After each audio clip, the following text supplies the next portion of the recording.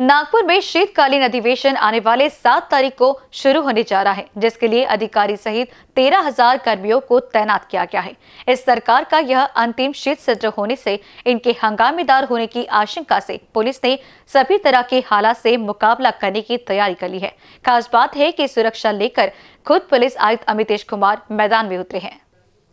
सात दिसंबर से शीत सत्र आरंभ हो रहा है। विधान भवन पर दस्तक देने वाले मोर्चे आंदोलन अथवा विरोध प्रदर्शन के दौरान गड़बड़ी फैलाए जाने की आशंका है। इस वजह से पुलिस अतिरिक्त सावधानी बरत रही है। शीत सत्र बंदोबस्त के लिए शहर से 5000 जबकि बाहरी जिलों से 6000 जवानों को तैनात किया गया है। 1000 होमगार्ड जवान और एसआरपीएफ की आठ कंपनी भी उनकी मदद करेगी। बाहरी जिलों से 10 उपायुक्त 50 सहायक आयुक्त तथा 75 पुलिस निरीक्षक बुलाए गए हैं।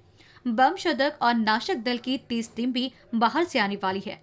नागपुर पुलिस की पाँच टीम भी मौजूद रहेगी। बाहरी जिलों की टीम का आगमन आरंभ हो गया है।